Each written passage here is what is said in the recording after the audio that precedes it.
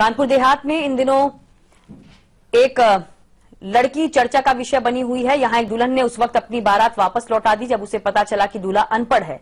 मामला रसूलाबाद थाना क्षेत्र के कारे रामपुर गाँव का है।